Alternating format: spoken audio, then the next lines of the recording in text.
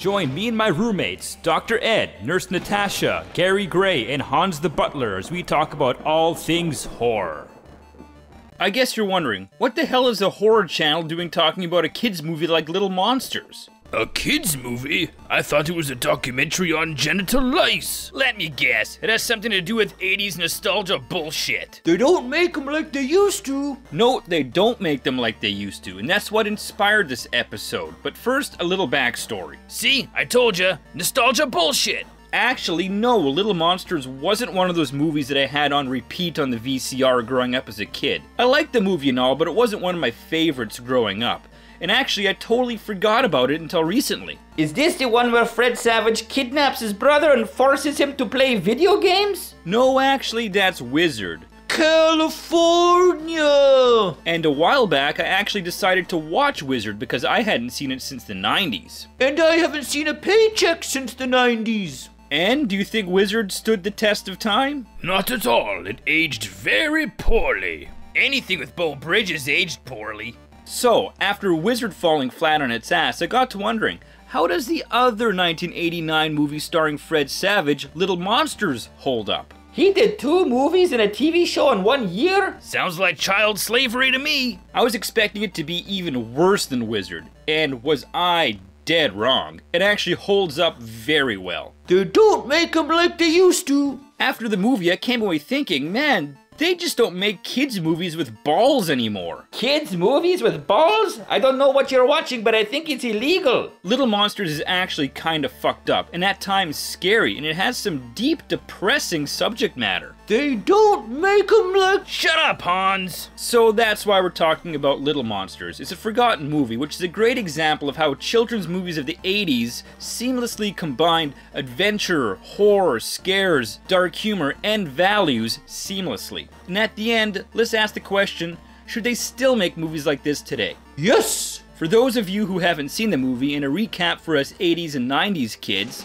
Little Monsters starts off with the Stevenson family moving into a new neighborhood and a new house. It's a real fucking dump! It's a fixer-upper. Our main character, Brian, played by Fred Savage, hasn't made any new friends at school yet, but he has made an enemy of the school bully, Ronnie. A red-headed bully? How cliche. You might also remember Devin Ratray as Buzz in Home Alone. Strange things start happening around the house. Brian's dad finds melted ice cream in the cupboard. He then backs over Brian's bike, which has been mysteriously left behind the garage. Of course, he blames all this on Brian. He knows Brian was up late watching TV because he left his peanut butter and onion sandwich behind. Yeah, peanut butter and onion sandwich? What kind of sick fuck would eat that? You know, I've always wondered how that would taste. Hans, whip me up a peanut butter and onion sandwich. Yes, coming right up. And now I will show you how to make a peanut butter and onion sandwich. You put the peanut butter on the bread, then you cut up the onions and put them on the peanut butter which is on the bread, and you have yourself a peanut butter and onion sandwich. Thank you. Jeez. Went heavy on the onions.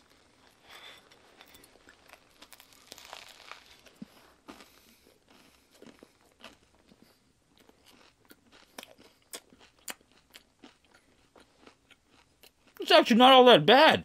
Don't expect a kiss goodnight from me. Brian's younger brother Eric, played by Fred Savage's real brother, is convinced that there's a monster under his bed. Eric dares Brian to spend just one night in his bedroom to prove him wrong. And he encounters some serious poltergeist shit. Needless to say, he didn't make it the night and slept on the hide-a-bed. I think he shit his pants. I remember hide-a-beds. I was sleeping on one and Ed folded me up into the couch.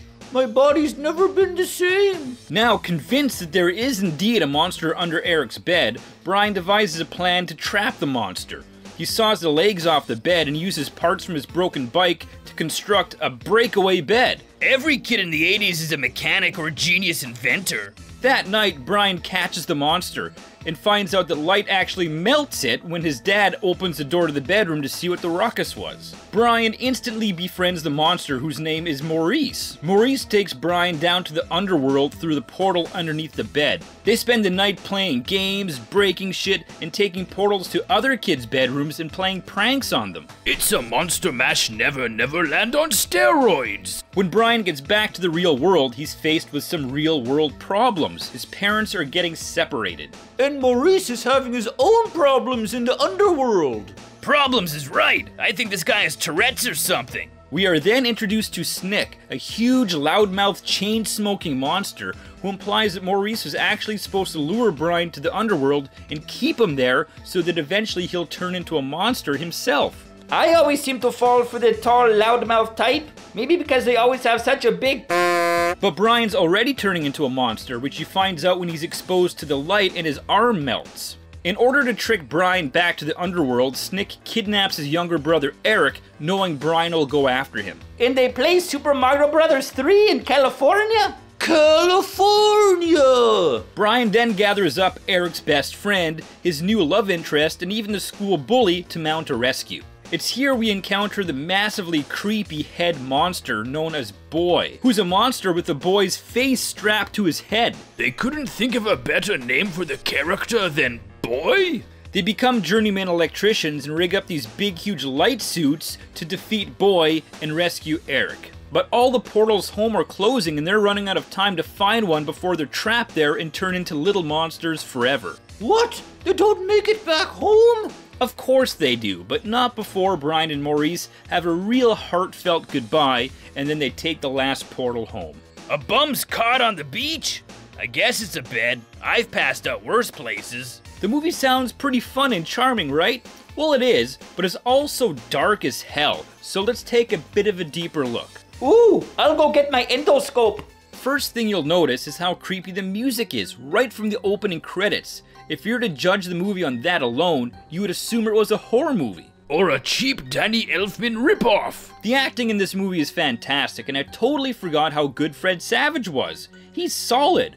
All the kids in this movie are solid, and nothing wrecks a movie more than bad child acting. And this is where we make a reference to the Shining miniseries. I hate that fucking kid. Seeing Daniel Stern in a serious role is really refreshing. He does a great job of playing the hard ass, tough love dad. He also did the voiceover for Fred Savage's older self in the Wonder Years. Let's not forget Howie Mandel's magnificent performance as Maurice.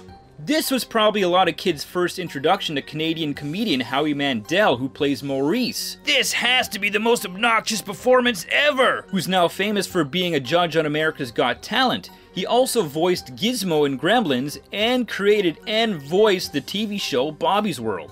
Imagine what would happen if you got Robin Williams and Howie Mandel in the same room with an eight ball of coke in the 80s. The Earth would have imploded into a black hole. Now let's talk about some of the messed up things in this movie that you just don't see in kids' movies anymore. All the pranks they pull would have given kids some nasty ideas. They paint all over a poor child's face and put saran wrap over the toilet bowl.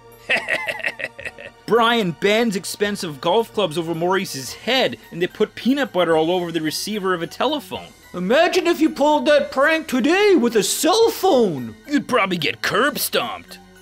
Maurice uses Q-tips and puts the gooey shit back in the jar. Then they take a piss in a kid's jar of apple juice. Monster piss isn't half as bad as it sounds. All that stuff is beyond harmless pranks. It's funny, yeah, but it's downright cruel. This movie really does encourage anarchy. Maurice and Brian go on a glorious smashing spree. We get the shit, uh-huh. we smash the shit, Yes. and then we put the shit back. The movie also suggests that a 12 year old kid staying up late watching the Playboy channel is an acceptable pastime.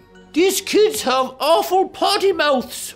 Back in the day when kids not even in their teens yet would curse multiple times in a movie. They don't drop any of the big ones, but what's an 80s kids adventure movie without some strategically placed S bombs? Oh shit! And let's not forget the big line of the movie. Who put piss in my apple juice? Classic. And the crass humor doesn't end there. A monster sees Brian with his pants down and proceeds to tell him, a 12 year old kid, that he's got a nice ass. If he has a nice tushy, then he has a nice tushy. There's also some morbid moments, like when Maurice is melting and begging for help. It's creepy. Snick grabs his kid's head and rips it off and throws it in his basket. Then at the end, Maurice torches Snick with a flamethrower. He lit that fucker up like a dried up Christmas tree. And the final act of this movie gets really creepy thanks to the off putting performance by Frank Whaley as Boy.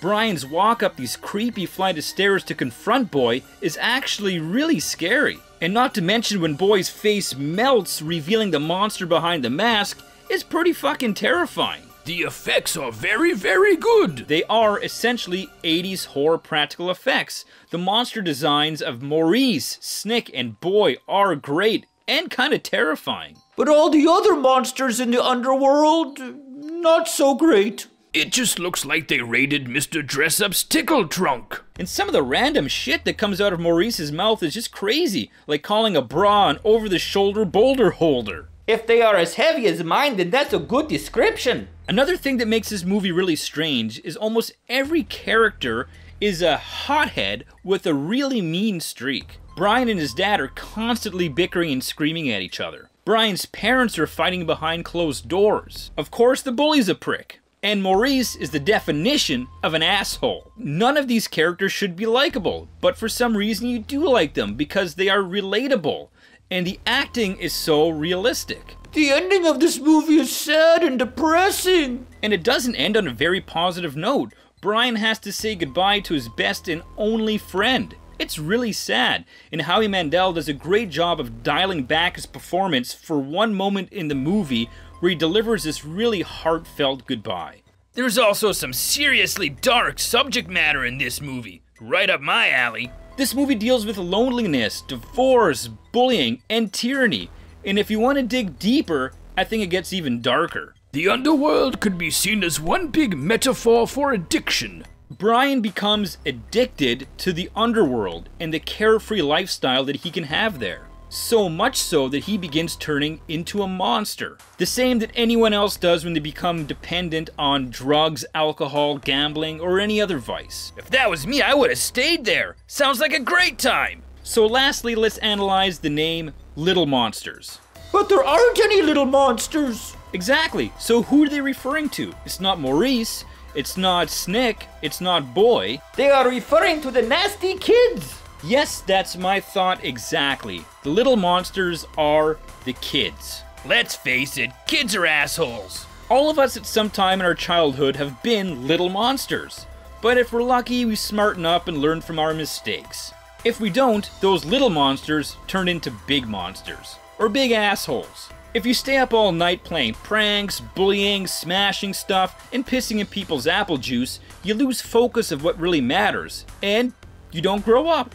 This is some serious Peter Pan shit. It's okay to have a Saurian brandy and collapse a black hole every once in a while, but you need to know when to draw the line. So, underneath this strange, at times frightening, morbid kids' monster movie, there's some great morals and real life issues that still matter today. So, even though it's a product of its time, it still stands the test of time.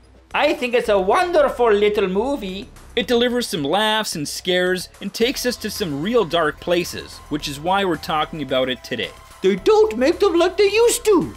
And I'll leave you guys with this question Should they still make them like this? Kids' movies with violence and cursing that encourages the destruction of personal and public property? Or are movies like Little Monsters best left to the 80s? Any movie that expands a child's mind is a good thing. If you did not get into mischief and adventure as a kid, then you're missing out. And this movie encourages mischief and adventure. Fuck yeah! I want to see a kids movie where they shoot up and smoke crack. They don't make them like they used to, but they don't need to. We can always go back and watch the moldy oldies. My thoughts exactly.